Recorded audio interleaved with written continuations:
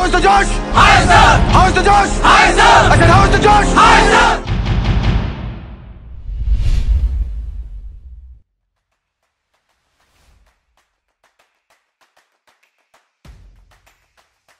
and now we comes to the outdoor task of the GTO. There are number of tasks which are outdoor tasks for the GTO that includes individual obstacles, that includes progressive group tasks, half group tasks, command tasks, final group tasks.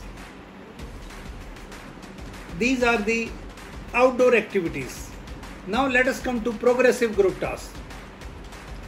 Progressive group task is a task where your group behavior is noticed, your cooperation in the group is noticed, and let me tell you, your ideas, your physical fitness, your stamina is seen. But the most important thing is your group behavior. People, you may be very fit, you may cross all the four obstacles, you may be the first one. But when you are not cooperating in the group, you are of no use. This is a leaderless exercise. There is no leader. Yes, a person with good ideas, logical ideas, he will emerge as a leader. So if you have got those capability, try to show it. Be with the group. Carry on the group. You cannot leave anybody behind. And mind it, whenever you commit fault, kindly repeat that obstacle. Never think that GTO has not noticed it. He is there to notice all these things. He is seeing how cooperative you are, how honest you are, how uh, your stamina, how is your physical fitness. Then some people say, Sir, I could not project myself in progressive group tasks. Nothing to worry. There is a half group task available. It is the same sequence on a smaller scale. The group is divided, maybe obstacles are less. Then you now it is time for you to project yourself in a half group task. You have to show your group behavior. You have to show your cooperation. It is not that you you are never volunteer to even carry loads. There are people who, who are afraid of carrying loads. They think if you pick up load, then it is not an officer like quality. You have to be cooperative. Then who will lift the loads? And those are not actually loads. Those loads are just given a name to test you, your capabilities, your cooperation, your group behavior. Still, if you are left without projecting or not, you have not been able to do well. Command task. Now you are the leader. You have got two subordinates. Now nobody is stopping you. You are supposed to give orders to your subordinates. GTO explains you the complete situation. He gives you all details. You are supposed to brief your subordinates. Here, even your selection matters. What kind of people you have selected? Be very wise. Select physically fit. Select those people who have got stamina, who can obey the order or who can perform as per your desire. By now, you would have made a mind that who is physically fit, who is cooperative. Your selection matters here. Don't listen to those two people whom you have selected. Give orders. When 100% you are struck in a particular thing, when even GTO gives you option, you should weigh. And when nothing is working out, that time you can ask for suggestion. But let me tell you, this situation should not come. These obstacles have number of solution. I have seen some of the people even telling,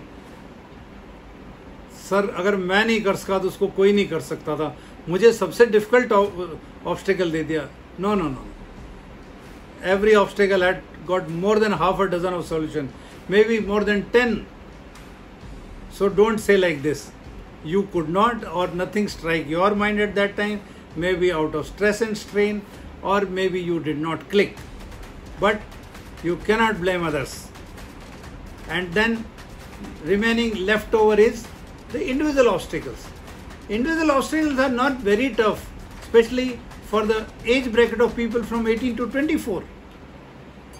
There are hardly any obstacles. But only thing is you have to do it honestly. Anywhere you falter, kindly repeat it. Have confidence in yourself.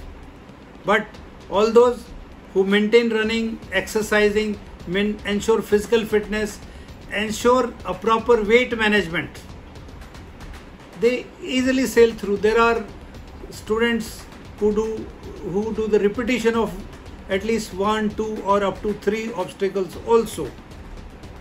Be honest in performing individual obstacles because you keep doing faults and keep moving ahead, GTO is noticing you. You will be marked negatively for this aspect. In interview, it is again totally individual aspect. Again, nobody is to be blamed, whatever you will be doing here. You may be called when you are performing any of the tasks. You will be given instruction whether to change the dress or not to change the dress. You need not worry. If you have to change the dress, keep your formals ready. Quickly change, report to the interviewing room. There's a waiting room there. There may be one more person who is already waiting because every interview generally lasts maybe 45 minutes to one hour, maybe one hour plus. So, when you are sitting in the waiting room, don't sit idle, don't be under pressure. You have to shut off your pressure, talk to the gentleman who is there. Observe the number of charts which are being laid down or any trophy which is being placed. There may be, you may be surprised that there is a chart which depicts about the Paramveer people who had Paramveer chakras or the aircraft used by Indian Army or the guns used by Indian Army or maybe uh, some details of Indian Navy, Air Force about ships or planes. Kindly observe that and imagine even if there is one gentleman who has gone inside, mind it, he will take at least 30 40 minutes. How you will kill those 40 minutes? Not by sitting idle, keep yourself busy, read those details it may be handy. When your turn comes, kindly, while standing at the gate, you must ask the interviewing officer, May I come in, sir? Don't enter 3 4 feet inside and ask, then the, he of course will tell you you are already inside. When you go there, you have to wish him as per the time of the day, whether it can be good morning, good afternoon, or good evening. Don't stand between table and chair. Stand behind the chairs. Give him a chance to offer you a chair. When he offers you a chair, don't drag it like anything. Kindly just pull it back very slowly, lift it back and sit down. Don't put your back on the chair. Be in an alert position and when he start asking you, initial question may be just about totally your personal details you are supposed to remember all these things. You have already reflected those details in your PIQ form also. And don't be afraid. Sometimes sequence may be different, but you should be able to answer all the questions.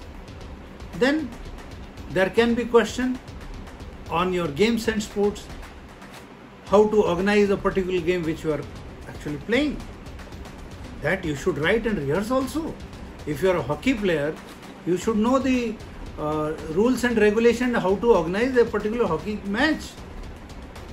And if you are not able to organize, either you are telling lie or you are not that involved which you should have been involved. I have seen a student who claimed to me that he has played cricket at state level. But when I asked him that how a scorebook of a cricket match looks like, he had no clues he tells me sir जाता हूँ batting करता हूँ run बना के आ जाता हूँ. थोड़ी बहुत बॉलिंग भी कर लेता हूँ।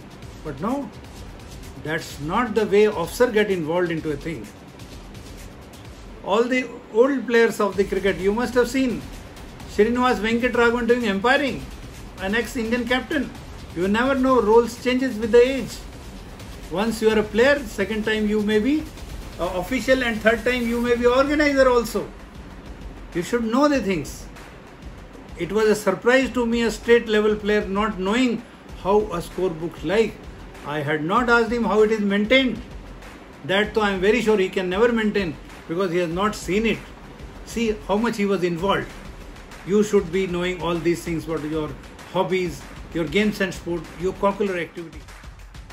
If you have liked this video, kindly share and subscribe.